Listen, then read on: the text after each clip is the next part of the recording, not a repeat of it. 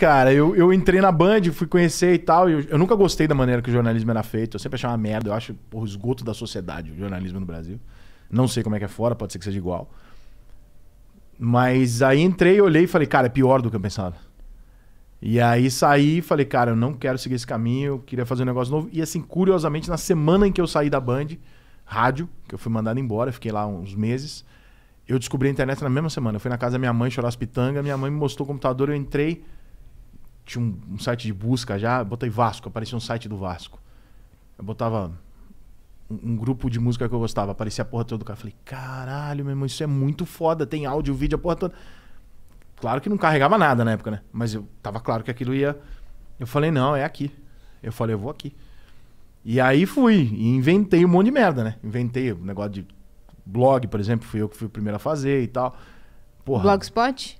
É, troquei de trocar aquela coluna semanal do jornalista por blog. É, por exemplo, podcast, que hoje é um programa de rádio que você monta e bota virtual. Pô, cara, eu fazia isso sem saber o que, que era isso em 2000 e, sei lá, 3.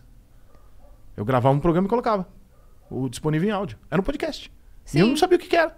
Eu não sei se alguém fez antes do que isso, eu não sei. Eu não tenho ideia. Só que eu fazia essas porra toda antes. Site de futebol de um clube só. Hoje cada clube tem 10 sites. Porra, eu fiz a estação tricolor em 2004.